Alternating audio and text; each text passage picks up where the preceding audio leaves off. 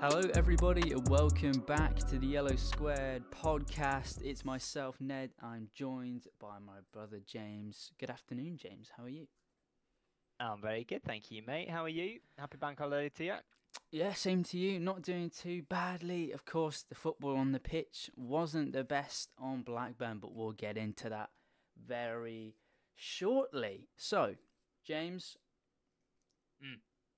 Do we have uh, a slight cause for concern at this point? I know we're only what four games in now. Yeah. No goal in four and a half hours of football in the championship. Fifty-five shots in three games, no goals. Are you starting to feel slightly concerned? Um, I am, yeah, obviously concerned. No, no win in three, uh, no win in four if you include the Stevenage game, and yeah, barring a blitzing first half against QPR, who I think are are sort of in, to some degree proving themselves to be um, troubled uh, this season. Uh, yeah, of course you've got to be concerned. I think the only thing that's keeping me going at the moment is um, the fact that we are um, we're we're uh, we we are dominating games in terms of possession.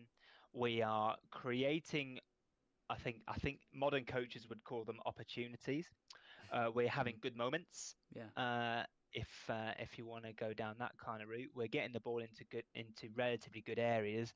Uh, we just can't find that uh, final pass slash that little bit of luck that I think we need to for one chance to go in the net. And I, I think that's what the team needs at the moment is just that belief to come back to them Yeah. that they can score Yeah. goals. Uh, because because I think the team is is playing relatively well. Um, I think the concerns surrounding the defence are um, are kind of warranted, but but also barring what was, and let's you know we'll address it early. uh, Well, in, in my opinion, what was a very very well taken goal Oh, that yeah. was against that was completely against the run of play. Mm. Um, if if if we can say that, I thought we dominated Blackburn yesterday in in terms of where we were in the pitch. I think we were just let down by by a massive um, inability to to take our chances. Um, so yeah, I, I of course it's concerning, but I think um, I've seen more in the in the four games this season that we've played uh, to to think that at least there is a plan and there is a determination to enact the Mm. plan compared to um, what we saw for 46 games last season. However, uh, my concern is we need to get a couple of results early to get the team, the squad, the fans, the board uh, to buy into what's happening. If results don't come, then I think uh, I think panic stations are hit pretty quickly, uh, and then uh, and then I think uh, we're into a world of hurt.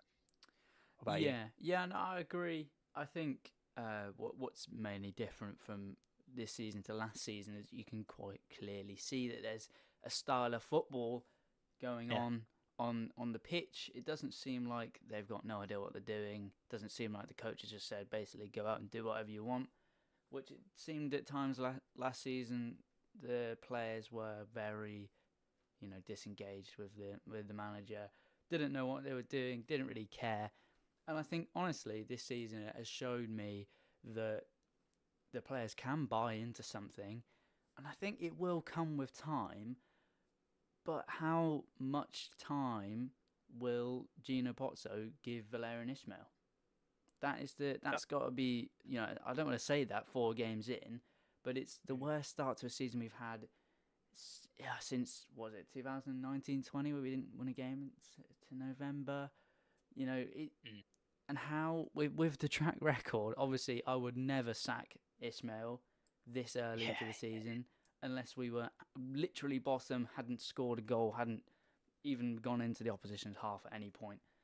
But with Gino Pozzo's track record, these are the questions that are now going to be asked. And how much, you know, how how long can we go without scoring a goal? Is Exactly. is a is a you know a big a big question mark over over Watford.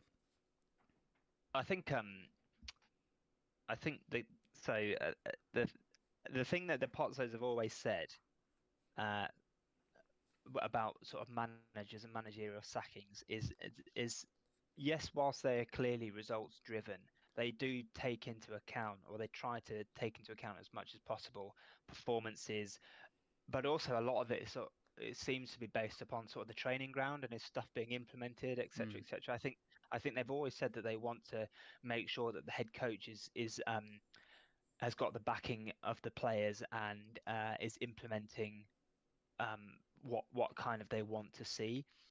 I think the club has quite clearly, without really openly stating it, they've hit the reset button and they're trying to they're trying to get back to where they want to do, but they're now having to do it on a smaller budget, etc., etc. Noting the fact that um, you know when the when the Pozzos took over the club back in 2012, clearly we were in in a worse state. Mm, So it can be mm. done. It can be done. I think it's all about time.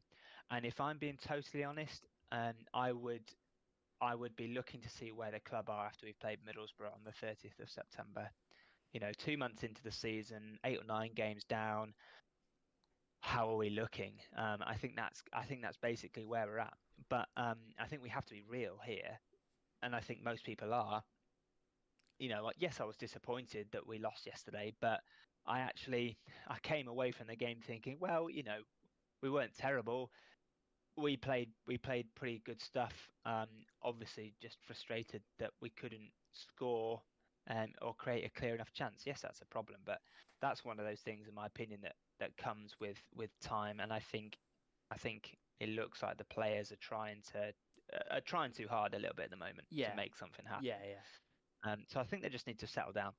Um, but no, I, I'm kind of with you on that one. I, I think it's everybody, is all everyone in the media is going to start talking about, um, oh, Ismaël's under pressure.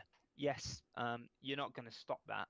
Um, if we haven't won, you know, a couple more games between now and and uh, sort of the end of September, as I was as I was talking about, then uh, then questions are going to be asked. But I think for me, it's all about the performances.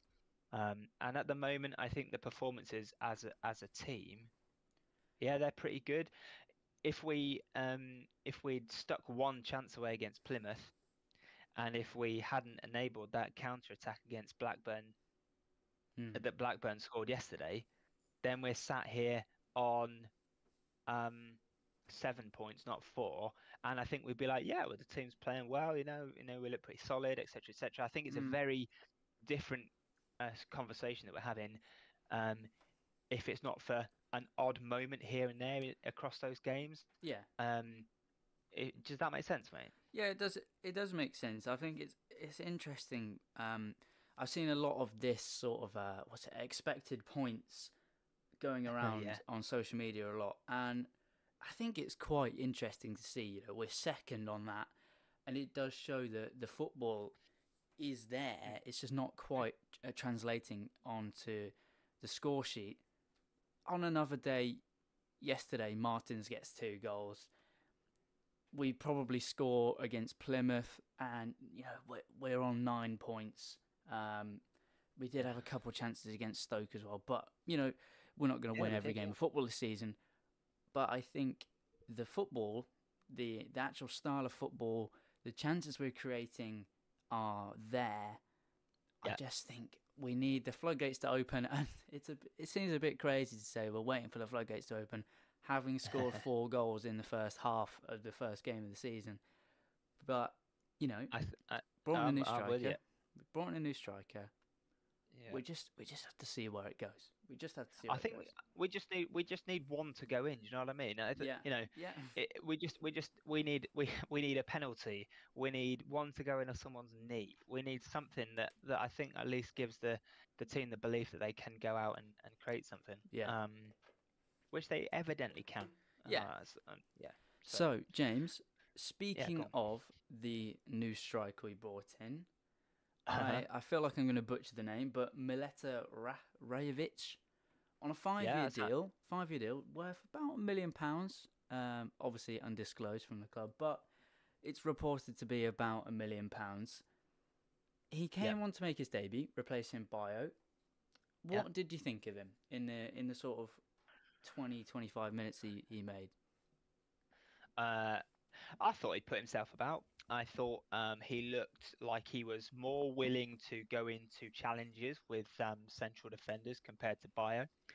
Uh, I thought he laid the ball off pretty well a couple of times. Mm. I just think um, I think he was just a victim to the team not quite knowing what they wanted to do when they got the ball near the box. Yeah. Um, Yeah. I think a lot of people. I think you know, um, there's a lot of people being like, "Oh my God, who have we signed?" Blah blah. It's way, way, way, way, way too early to be sort of talking about that. Yeah. Um, you know, he was chucked onto a team that was at, at the end of the game, sort of scrambling to create anything. So I think it's way too early to, to talk about it. But you know, Mm. he looked he looked aggressive. He looked um, big, physical. Um, I think if if we can just now sort of build our um, build up play around him, I think that's when we get a better idea of, of the kind of player that we've signed. Um, Yeah. but but put it this way, I wasn't wowed, but I also acknowledge that you know he, he he's had a hell of a lot going on in the last 48 hours for him personally, and then you're asking him to go on against Blackburn Rovers, um, and uh, and you know turn the game around. I mean that would be the stuff of dreams, right? Yeah. yeah. Yeah. I couldn't agree more. I think the uh, obviously the hype is there. He's he's scored a lot of goals in Sweden. Mhm. He's scored a lot of goals wherever he's played. Um, really. So he's obviously got the big move to, to England.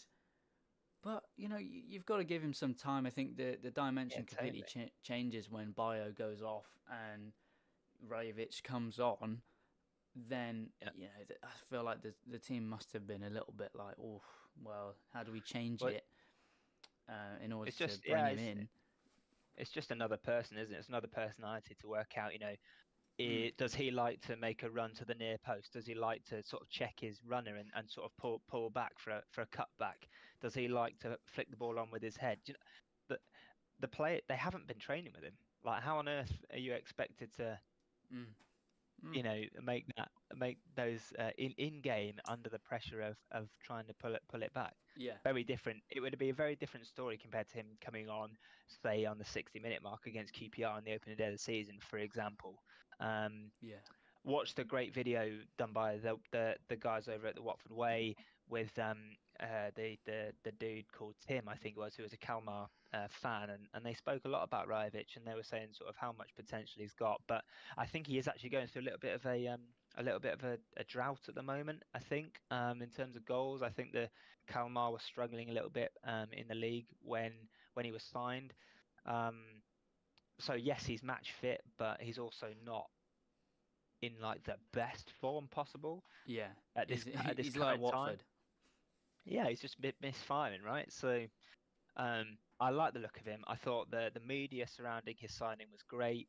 Um, he looks like a a real person that the fans could absolutely warm to. I think if he just if he gets on a real run of form, bags a couple of goals in the next three or four games, then I think the the fans get behind him, and I think it's a different story. And I think everyone falls in love with him, right?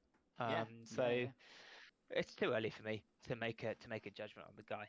Um, but I'm I'm just hoping that he can actually sort of deliver. But but the the re- elephant in the room for me is the fact that um, the number nine that we've gone for this season is a million pound potentially an unheard of striker from from Sweden. Yeah, well, he can't be worse No, than Ray Malai. Hey, that's harsh, mate. That's harsh. Perhaps too harsh on, perhaps too harsh on Ray Mm. Malai. That's So- how uh, Uncle Ron. so we will we will move swiftly on. So in the notes, James, I've got a couple Yeah. other players I wanted to mention. Yeah. Ryan Andrews, obviously mm-hmm. one of our own. He's come Yeah. in, made leaps and bounds. He's come on, yeah, he's, he's come on really well in the in his what was it, 12, 12 senior appearances he's made now. Yeah, something like that. Yeah. I just think at the moment his end product and his decision making is lacking, and I think you know when when we're playing this football that really sort of slow the play down, make a lot of intricate passes around the edge of the box, try and you know unpick, uh, unlock the the defense, that kind of that kind of football. How important is that decision making, and do you think that you know he's the right person for the job? Uh, well, that's a great question. Um, I kind of I kind of agree with you on on the decision making aspect. I it's um it's it's a shame because everybody everybody wants him to do well, and, and I think he has. Up, I think you know for for a dude that made his senior debut as at 17 and in uh, in last season's team and did very well, uh, I think he's equipped himself uh, brilliantly. Um, and my my concern is that uh, my concern with Ryan Andrews at the moment is more that I think that the team is having to rely on sort of individuals at the moment to make something happen. It, yeah. If if if the team was performing well and we were clicking really nicely, and we were like a well-oiled machine, I think Ryan Andrews comes into that side and is and is really really effective because um, he's really positive. He likes to attack. Um, I think the players would know, or I think he would then have a clearer idea in his mind where he wants to play a pass. Um, because he likes to take the ball over his shoulder and play a first time ball I've noticed into mm. into the channel which is great but the players have got to know that that's that that's going to come and but um so yeah it is it is a bit frustrating but um I feel like I feel like I want to to give him time and cut him a, a bit of slack. Yeah. However um I'm a I'm a yeah, I feel like that might be a slight problem area for us at the moment, um, because I'm also slightly concerned about Ngakia coming back in. Um, I think I think Ngakia carries the ball better than than Andrews mm. and is a bit more defensively sound. But if we're worried about Andrews' final ball, for me, Ngakia's is um, and it's I feel bad for saying it, um, but I, I I feel like Ngakia's ball is not as good no. as Andrews is. No, no. Um, so so I think I think if I'm being honest, that's the one position I think that we're lacking in at the moment. Mm. Uh, do I expect them to go out and spend money on a on a high quality right back? No, uh, I can't see it happening. No. So I think I think we are where we are with those two. Um, I almost feel as if like um, one of those two has to fail before Christmas for the club to go. Uh, actually, we need to go and sign a right back. Yeah. Um, and that's I know we spoke about it in our keep buy sell and uh, season preview. That's why I'm so frustrated that Ferreira went. But obviously, yeah. if, the, if he didn't yeah. if he didn't want to be here, then then I've got no interest in being here. But um, yeah, that's kind of where I'm at with Andrews. Um, if that if that makes sense, mate. Yeah, I I do think that you know that there's definitely a place for him in the team. I think it does go back to the the probably the more senior players are too trying to work out how to you know play in in the system and mm. create chances. So it, I think it does go back to the fact that they're probably trying to force it a little bit too much, which you know probably singles out Andrews a bit more than others. Um, when you know he's just feeling himself into senior football let alone playing in the championship and mm. creating chances when he's a right back. You know, a lot a lot of the time in academies, you know, these right backs are just purely trained to defend and you know look good in a in a, in a defensive shape. So Ismaël is asking him to do quite a lot going forward. I think, uh, especially yeah. playing that inverted wing backs and coming into the coming into the middle of the pitch to get onto the ball, which I think Andrews does better than Ngakia. So yeah. I think going forward, it'll be a good, you know, a good little fight be- between the two of them for for that right back spot. I just think you know once the team starts firing on all cylinders, it will help mm. both of them really. But I think it will help Andrews far more. It will help him settle down, and I think it'll it won't you know single him out as much as somebody that seems to give the ball away quite a lot, and where a lot of attacks seem to break down a little bit when when he's trying to find uh, find that final pass. Mm. So yeah, yeah, that's that's where I'm at with Andrews, and then we've got this other player, this attacking player, Yaser Asprilla. Mm. So James, Mm. it's come up a couple of times this window. Asprilla is potentially trying to force an force a move away from from Watford into the Premier League. Yeah. One goal last season. Has he done enough to justify a move? in my personal opinion, it, not even close. Uh, uh, he's not even. He's not done anywhere near um, the level of. He's, he's not even sort of had the level of end product yet that um, João Pedro had, who No, has no, clearly, who, who, in my opinion, justified his move to Brighton based off the fact of his clear natural talent, ball carrying, um, but also goals and assists. He did start to acquit himself with goals and assists. Yeah. But I think people are also forgetting that João also had a season in the Premier League with some goals, a promotion season in the Championship where, yeah, he started well, but I think he got a bit tired and leggy towards the end of the season. And But he still scored goals though. to- Yeah, yeah, exactly right. Um, so, so I think João had has a larger body of work. Hmm. I think Asprilla, I think, in my opinion, Asprilla actually has a lot more. Um, he's he's a, he's a year or two younger, isn't he, than João at the Yeah. moment? Yeah. but I think I think Asprilla's um he's I, I think the guys from From the Rookery and said it and I agree with it that Asprilla is actually potentially further ahead in, in terms of his footballing ability than João was when he first arrived Yeah. but we've not yet we've not yet seen No. Asprilla um Hmm. we've not had a, a patch of form where Asprilla is the best player in, in the game or, or the league because uh, you know there were times where João last season was the best player in the league Yeah. and I, I will say that, and I think you can evidence that, um, particularly where around the time where we beat Luton four 0 that October Yeah, November yeah, period, yeah. João was João was the best player in the league. Um, is Asprilla there yet? No. One goal, not good enough. Um, I, have lost count of the chances um, that Asprilla has had, and he has butchered. And uh, maybe I'm being a bit harsh, but I think for someone who wants to go to the Premier League, you have to score that goal against Stoke. He had a chance um, uh, yesterday against Blackburn. I think it was in the first half wh- where it Yeah, sort of cut yeah. back to him, and, he, and you just were like, just hit the thing, man. Um, I think he lacks confidence in front of goal at the moment. But if you want to be that kind of person, you've got to at least be scoring a couple here and there.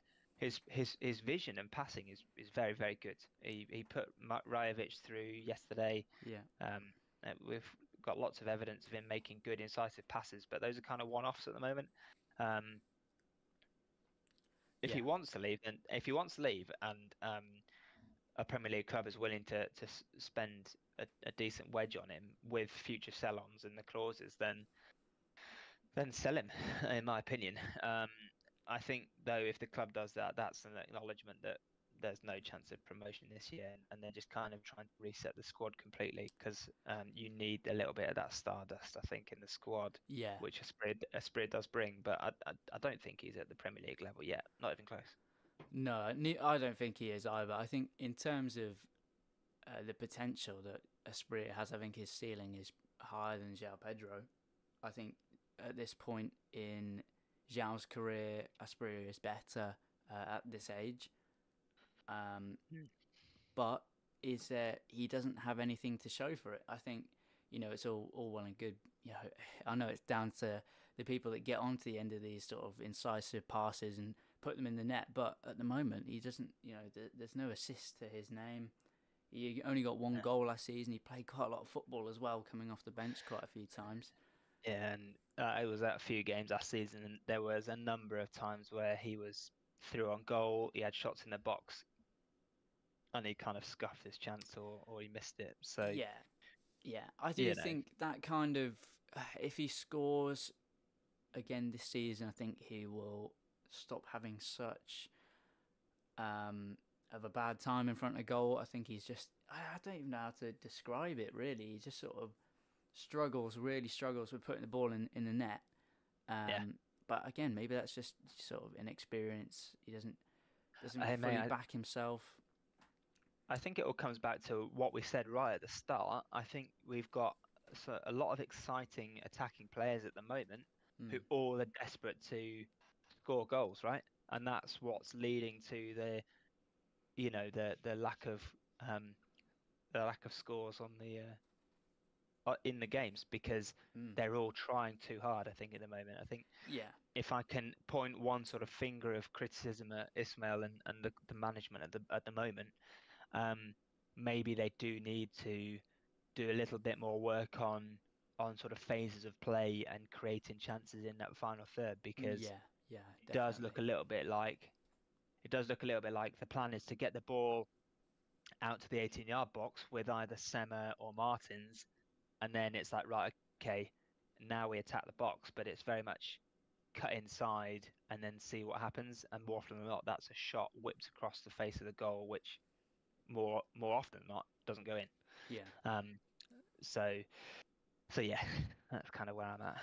Yeah, I think it's interesting that you bring that up because personally, from from what I saw against in, against Blackburn, the phases of play were solid. You could see what we're trying to do, but it does seem quite slow at the moment. It's just easy to Yeah. defend against, and it really kind of shows why we have such high possession of the ball, but then we don't really create enough with it. It does seem like it's a little bit slow here and there, but then again, Yeah. we were missing people like Louza in the first half, who obviously was dropped to the bench.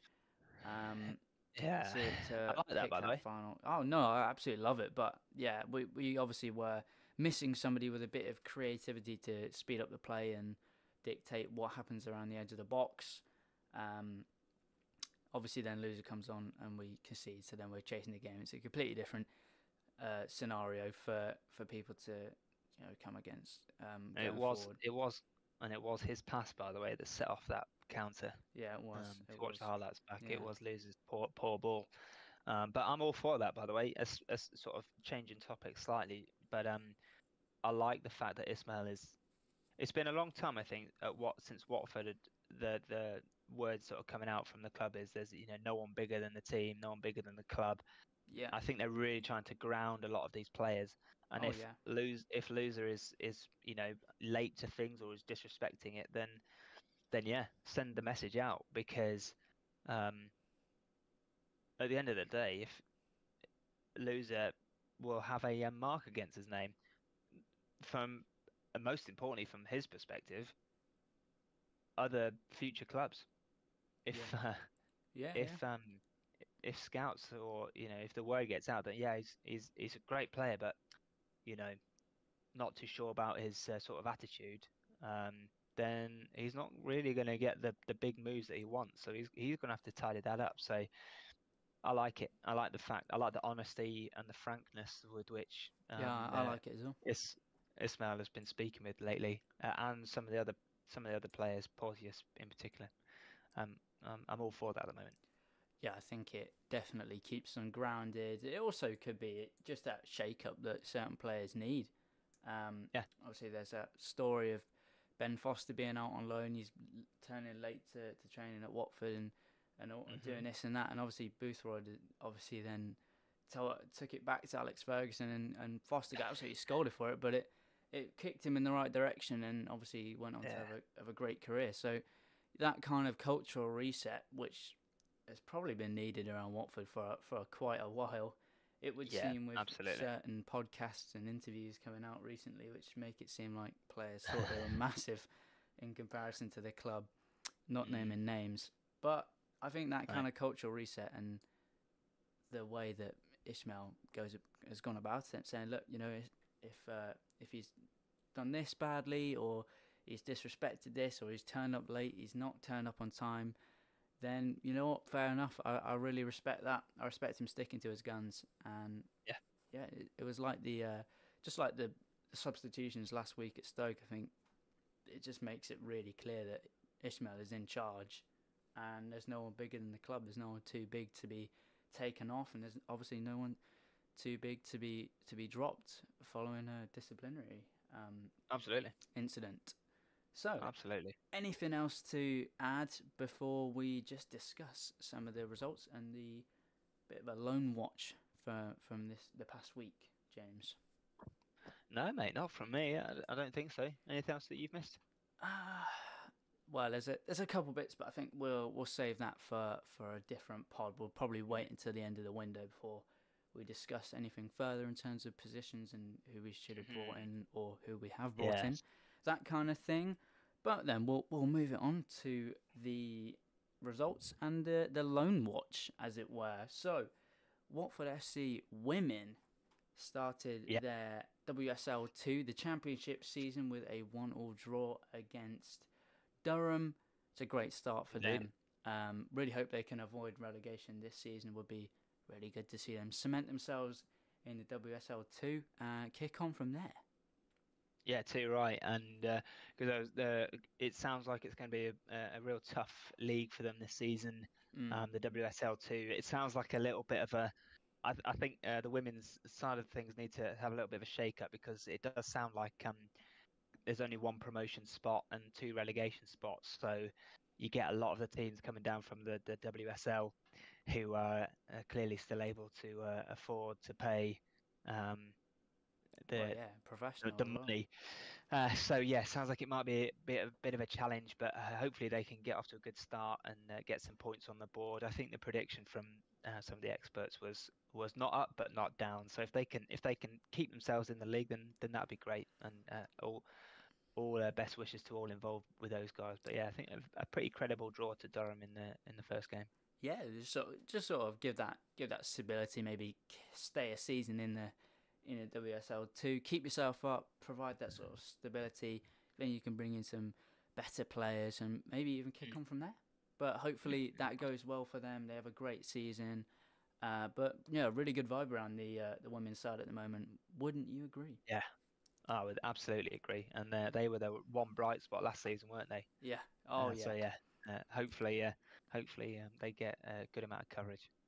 Yeah. So then we'll move on to the Loan Watch of sorts. Shaq Forde, the boy, Yeah, scored his Yeah. first goal on loan at Leyton Orient, and you know what? This this does actually make me very happy. Uh, we called it out on the keep buy sell at the end of last season, and it's coming to fruition. We know what we're talking about on the pod. That's why Yeah. you should subscribe. a broken clock is right twice a day, mate. So Yeah. yeah, we nailed it. Absolutely nailed it. Very pleased for him. Um, the first of many, hopefully. First of many. Yeah, I hope some, so. some more experience under his belt this season and can kick on from there. Yeah, it's looking good for Shaq as well, isn't it? Because he, he did well at York, uh, and they were they were struggling a bit last season. Yeah, now he's very well back at in the back in the football league and uh, is scoring the goals again. And uh, we spoke about this at great length on our our academy episode, but it just shows that it just shows to people who are trying to come to Watford or have a decision: do I go to Watford or not? Well, yeah, because you either Ryan Andrews it and make it into the first team, or uh, you're going to be given an opportunity to um, to develop and uh, get and play in the football league. And as Shaq's doing, he's, he's scoring in the football league now. So Yeah. um, yeah, ho- hope he hope he um, has a great season, uh, and things are looking up um, for him. Yeah, yeah, I think that that's a great point. Um, just to just to further that, really, even if you don't make it at Watford, it definitely gives you a, a spotlight uh, for for other Yeah. other clubs. Uh, Adrian Blake got his big move to um, the Netherlands in the summer, so he's kicked on from from Watford, and it gives you, Harry you know, Mass. yeah, Harry Amass going to to Manchester United. Even players like Jack Grieves have been under the radar from from big clubs Yeah. like Celtic and that. But fortunately for us, Jack Grieves decided against moving away from from Watford, which is which is brilliant, news. brilliant news for us. But yeah, But I think if but I think I think if that pathway is in there, oh yeah, oh yeah, people like Harry Amass and maybe even Adrian Blake go, actually no, I'll stick around because yeah, I might not get into the Watford first team, but I might I might get out into League One or, or League Two and uh, sort of show my worth. Um, and yeah. and and then it's better for everybody. But um, yeah, Uh, Yeah, I think good it just it's good news for because it's just sort of coming in now. Obviously, we had a, quite a long period as as we discussed on the the academy episode. Um, you know, it, it's been quite a long time since we've had a real player come through the academy ranks and then stick with the club. So Yeah. you know, it does make sense for these young players that want to have a proper career in, in the game from a younger age that they do move away. But we're shifting it around bit of a mentality switch at, at Watford, especially with the academy and the first team. So yeah, very very impressed, and uh, we're looking forward to you know another great season of development for these for these young players. Absolutely, absolutely. Yeah, absolutely. So, thank you very much for listening to the pod or watching it. If you are watching on YouTube, please remember to subscribe and like the video. It really does help us out. Leave a comment if you agree or disagree with us. Um, we'd love to have a conversation with you. Yeah. Uh, follow us on Twitter as well. We're still kicking about on Twitter or X as it is now known as. Um, Yeah. So follow us on there. We're very active on there. And yeah, leave us a five star review, please, on Spotify. Really helps us out as well. And we're you know we're just about everywhere on the audio apps. Um, so they'll be on screen if you uh, if you you know watching on YouTube. They'll be on screen so you can see. You know maybe if you're if you're out if you're doing something, you can still listen to us on the go. Thank you very much for listening, and we'll catch you again very shortly. See you later, guys. See you later. Have a good one.